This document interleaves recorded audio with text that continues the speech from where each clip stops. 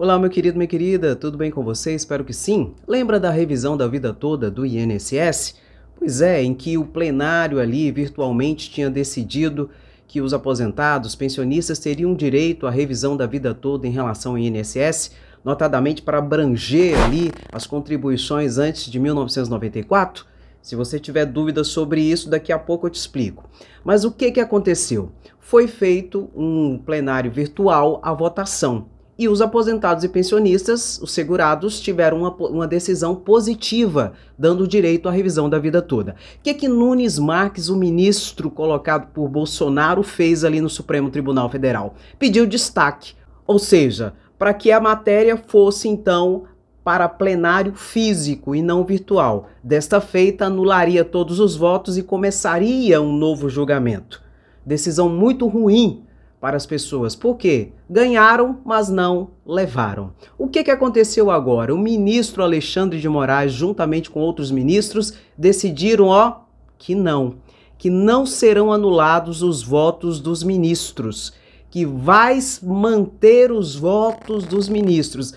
A única coisa que será feita será a continuação do julgamento, mas já considerando os votos já dados, ou seja, a vitória já estabelecida. Nunes Marques tentou, na verdade, lacrar, tentando anular por meio de um expediente é, é, institucional, burocrático, a decisão a favor dos segurados do INSS. Mas não colou.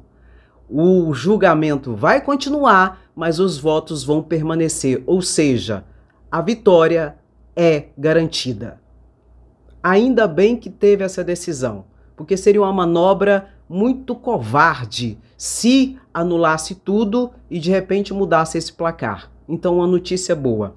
E logo, logo terá o fechamento desse julgamento que não vai ter como mudar. Se vai permanecer os votos, a vitória será das pessoas que terão direito, então, à revisão da vida toda. Tem alguma dúvida? Não sabe quem vai ser abrangido, quem não vai ser abrangido pela revisão da vida toda? Dá uma olhadinha nesse vídeo aqui que eu explico cada detalhe para você saber se você terá direito ou não à revisão da vida toda assim que se fechar esse julgamento. Mas parabéns para os ministros que agiram corretamente, não é? Porque seria até contra o princípio da eficiência. Já julgou e por uma questão uh, burocrática, que na verdade não é burocrática, mas uma manobra que quem está por trás, trás é o governo Bolsonaro, por trás do ministro Nunes Marques, tentando prejudicar os aposentados e aquelas pessoas que precisam, porventura, de uma revisão dos seus benefícios, não é?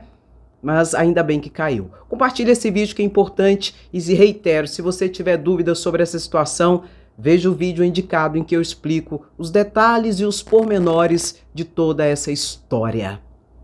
Um grande abraço, beijo no seu coração, até o próximo vídeo. Tchau, tchau.